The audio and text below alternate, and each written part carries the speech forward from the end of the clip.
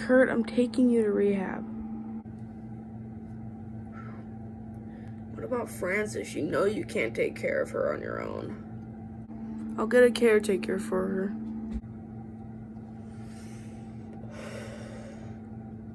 I'll go, I guess, yeah. Okay. So Kurt, I know that you've been having some troubles with um your heroin usage and you want to get off of it, right? Yeah, I guess you could say that, yeah. We're gonna help get you off of this stuff, okay? And you can leave anytime, Kurt. We're not we're not keeping you here. We want you to know that you can leave anytime. We're not holding you back, okay? Okay. Yeah. I know, I know, yeah. Okay.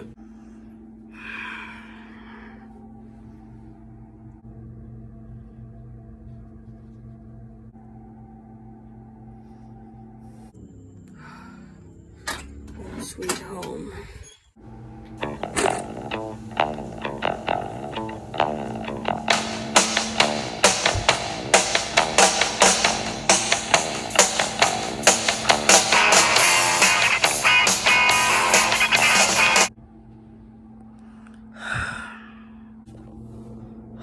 I need another fix. Ah, another fix.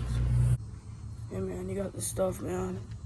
Yeah, man, I got you the stuff, but like, I heard you escaped rehab. Are you okay? Oh, man, I escaped rehab. It was, it wasn't for me, man. Like, I'm trying to get off. It wasn't even my idea, you know. Like, Courtney wanted me to go, and I just, you know, I couldn't handle it. Yeah. So I'm kind of like, almost on like the run. I mean, I like, I don't have much place to go. I'm just staying up in the motel that I usually stay at, but like, I'm kind of, just kind of on the run. But yeah. Okay. I got a place that you can stay at, to be honest. I got a cleared room, I got a bed, all the essentials that you need, and I don't really care. You can eat whatever you want. I mean, trust me, you won't have to worry about that. I have a, an eating disorder, and I, I hate eating food, so I don't really eat that much. So you don't have to worry about it. But yeah, I guess I'll stay. All right, man. Well, you can come with me then.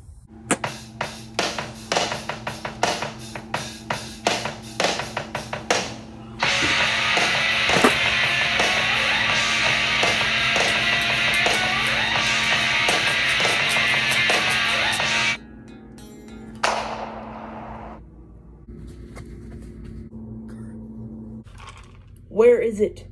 The man, I just came here to get a place to live, man. You know exactly where it is. It's where I'm tired.